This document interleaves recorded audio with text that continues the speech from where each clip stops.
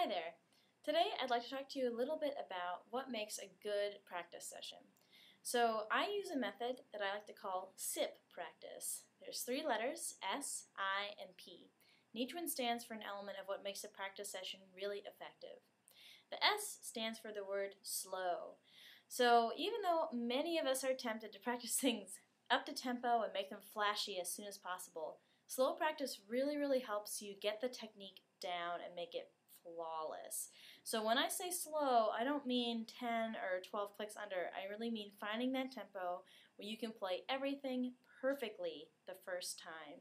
If that means half speed, then you start with half speed. If that means slower than that, start slower. That's okay. You just want to make sure that you can play it perfectly at that tempo.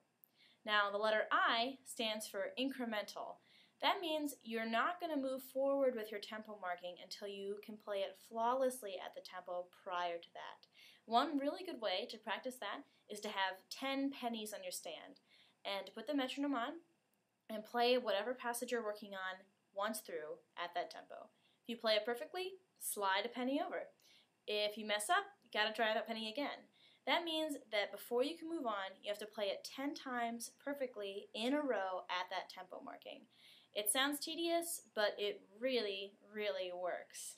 The P stands for purposeful. And by that I mean you really need to be focused in your practice session. Sitting down and noodling around for an hour does not really count as practice. You need to know what you're going to work on, you need to have a plan, and you need to be focused the whole time.